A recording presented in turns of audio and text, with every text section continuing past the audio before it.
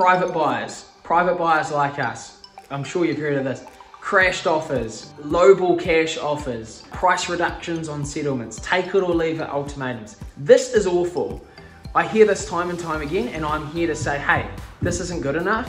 We are the good guys. We are your property solutions, and we'll buy your as is house. We buy as is houses. We know we're very genuine, okay? Look, we're here to solve your problem.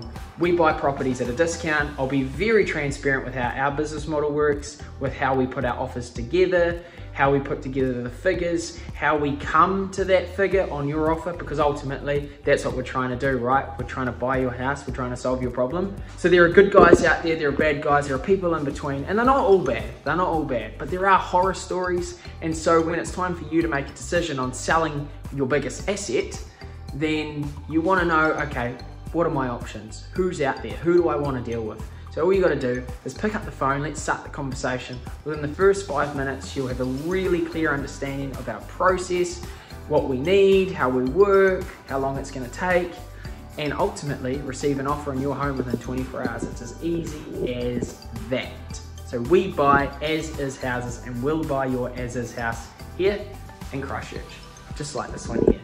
I hope to speak to you soon, guys. Thank you very much. See ya.